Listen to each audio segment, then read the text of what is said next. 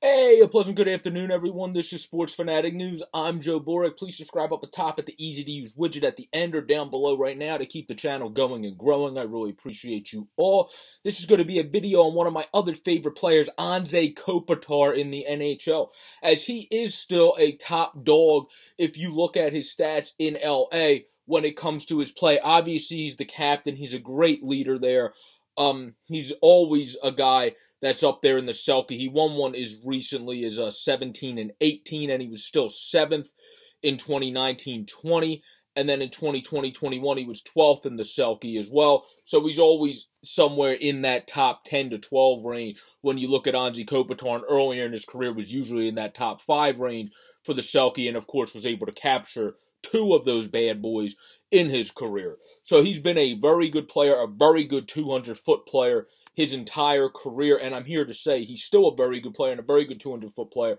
Of course, he's not what he was years ago, the same guy and the same speed and all that chutzpah, but but that makes sense. The dude's 34 freaking years old. You're not going to be the same dude. But we see Bergeron, we see these guys have success. Backstrom getting into his 30s now. We see these guys have success because they just think the game and they process the game so much quicker than some of the other cats. And that's what Kopitar's been on both ends the entirety of his career. Of course, this man, after having the 92 point season in the 82 game season in 17 and 18, did have the one down year, which is why people started jumping on him because of the contract and the size of his contract when he had the 60 and 81. But then he bounced back and in less games beat his point total by two.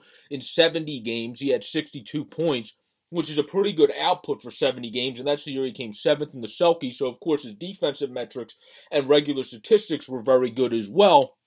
And then 2020 21, his point total was almost a point per game. He wasn't as good overall necessarily in the defensive metrics last year, but I don't put that on Kopitar.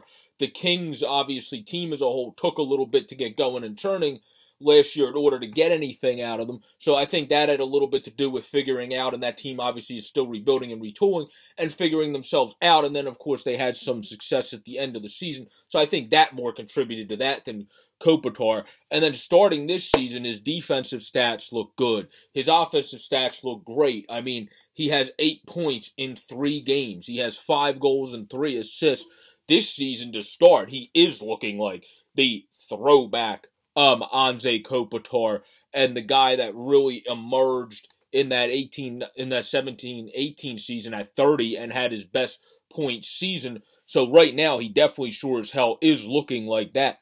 But overall, as a whole, whether he gets to that ridiculous um, total that he would be on pace, obviously he's not going to keep this up, but to get to something around the 90s that he had as his career high or even break it, even if he doesn't get there, I'm here to say he's still one of the top dogs in LA because he's been producing the last couple years. After having a down season, you want to see how a guy, once he's in his 30s, rebounds.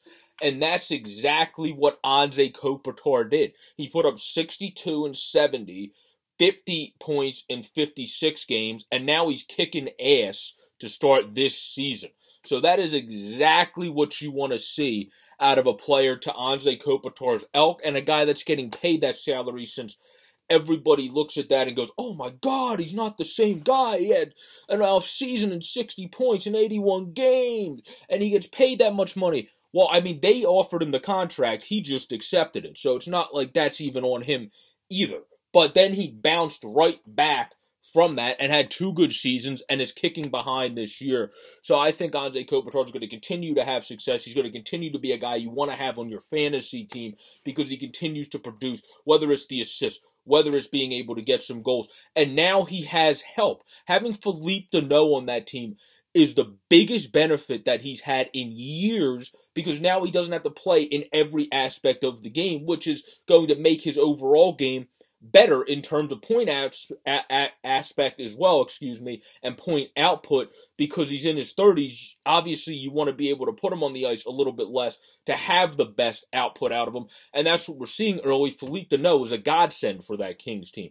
So this has been a video on Anze Kopitar, Kopitar still being a top dog in LA, one of my favorite players to watch in the league, and he still obviously is one of them, and he's still having great, keen success in this league. So good job and kudos to him. Subscribe up above if you enjoy the content or down below, whatever one you prefer. I appreciate you all to keep the channel going and growing.